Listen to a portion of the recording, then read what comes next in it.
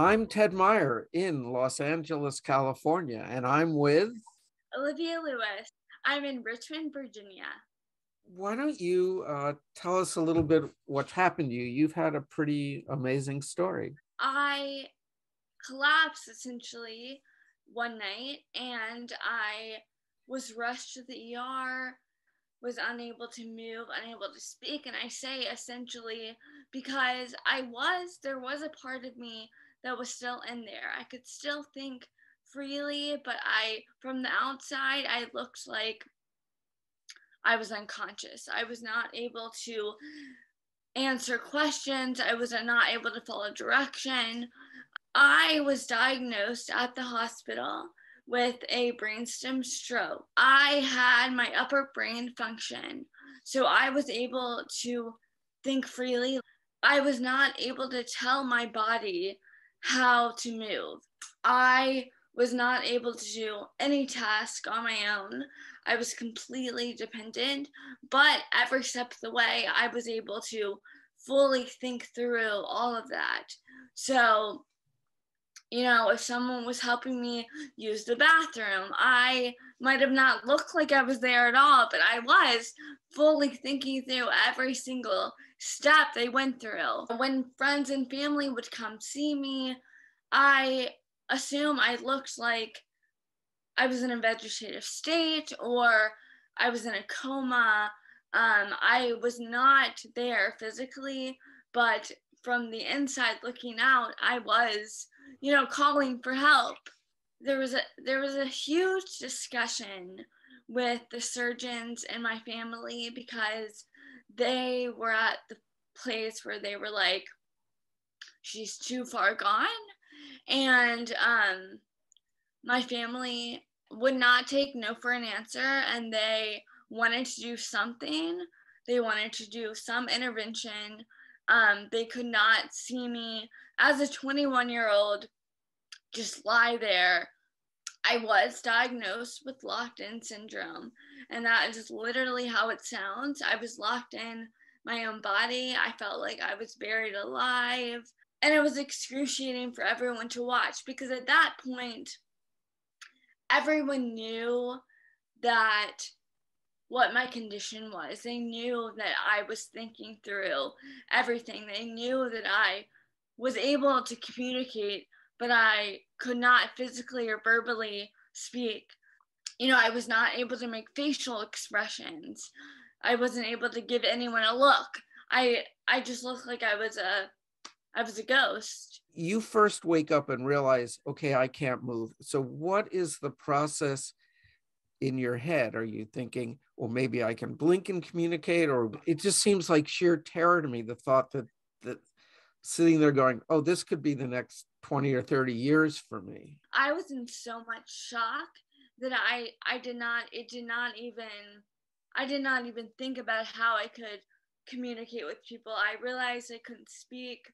My family, were they were amazing, and they were able to do their own research. So they figured out how to communicate with me early on, and they um, created a letter board.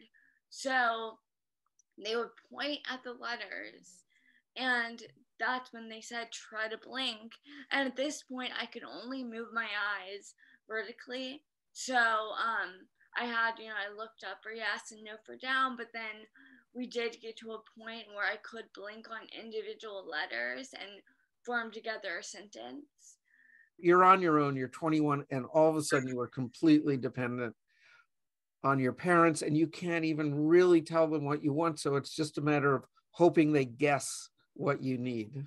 Right. I mean, they um, got really good at kind of figuring out what I needed and what I wanted.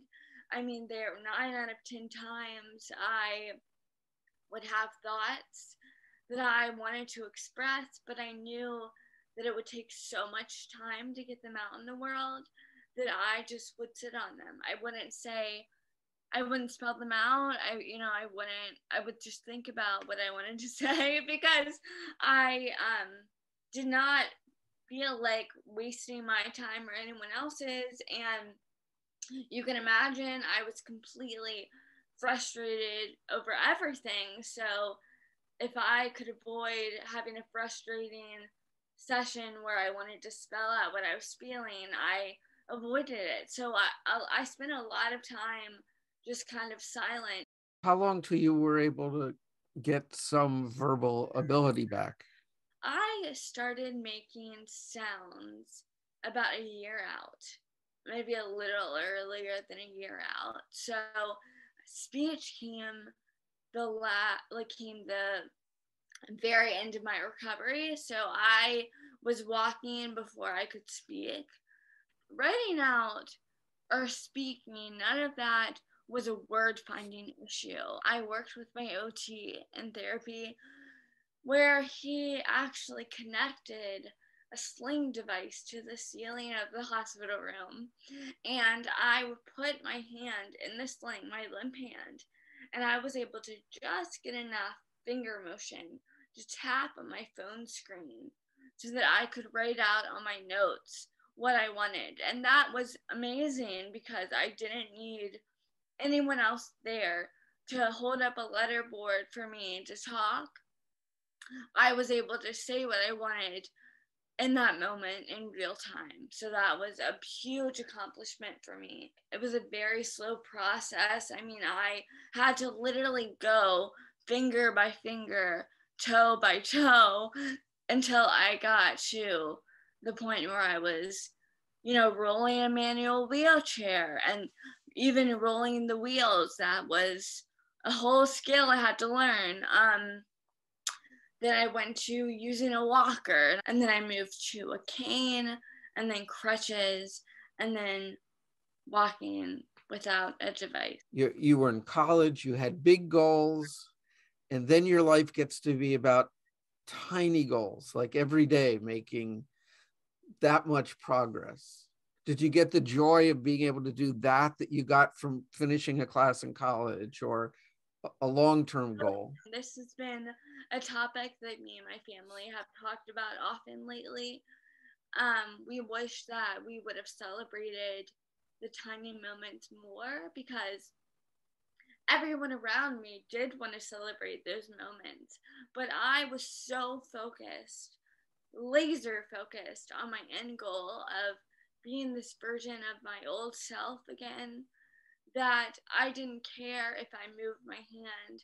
And even though or moved my pinky even though objectively now I look back and I'm like well the only way I could get to that point was if I made those smaller movements. But I was not happy until I, I was not going to be happy until I met my goal. So even though I would make progress almost every day. It was very small progress, but I would make progress. I never really gave myself any praise or any pat on the back. I was really, really hard on myself. We always hear about people that have been through a heart attack or something, and they go, the flowers are more colorful, the everything smells sweeter. Are you, do you have that sort of sense of wow i made it through and now i appreciate it all more before. I think that i definitely have a a greater understanding of how important life is. Now that you've been through this what do you want to do with your remaining time? I um, am in the process of writing a book about my experience. I also have dabbled with the idea of starting my own foundation that involves young stroke survivors and young locked in syndrome survivors and people that are still dealing with locked in syndrome. I have been doing a lot of speaking to hospitals. I actually am speaking to one of the hospitals that I was in three years ago in May. So that will be to all the healthcare providers. So that will be, I think, exciting for everyone involved. I'm just curious about the first time your mom came in and you could look up and she didn't know what was going on with you. She saw a person who had this stroke and you're totally aware of your situation that you're thinking inside, but your mom has no idea about that. So, or your both your parents. So, what was it what were your thoughts about them and your concern for your parents looking at you? I kept thinking they're gonna pull the plug, like they don't know that I'm and no one was even I don't think talking about that. I just think I had that thought, like no one knows I'm in here. So they're I'm they're gonna pull the plug. Eventually after about a day, I think they did were were able to figure out that I was cognitively intact. I just had that gut feeling like something really bad is about to happen if I don't let someone know that I'm here.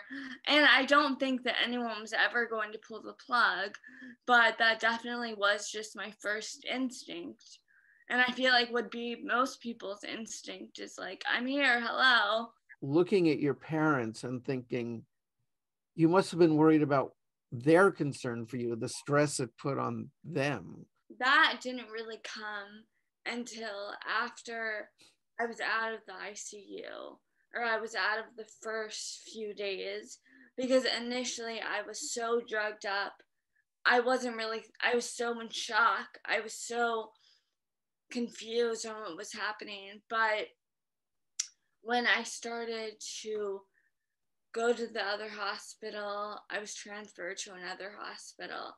And when I was there, I started to really think about how horrible this is for everyone involved. And I would just witness, you know, my mom crying or my family in the hallway speaking with the doctor. And I think I just realized there was so much that was weighing on everyone. And even though I was physically impacted, the whole family was just torn apart. It's just an amazing story. I mean, I just your strength and the fact that now you're going out and you're helping people and you're writing a book and you're going back to hospitals to help people it's it's amazing so i i just want to thank you for talking to me and just you like i said you've been through something that so the, the thought of it so terrified me and i'm looking at you smiling and you you just got back from vacation. I mean, it's quite it's quite the recovery. Yes, it was definitely an experience I would not recommend, but you know, I went there and I came back and now I enjoy life to the fullest extent. So, in some ways, I will almost say that I'm glad it happened. I don't think I'd be able to say that, but I'm glad you can say, say that well, thank you for talking to me. And then we will connect again after your book gets published. All right. Awesome. Well, thank you so much. Thank you.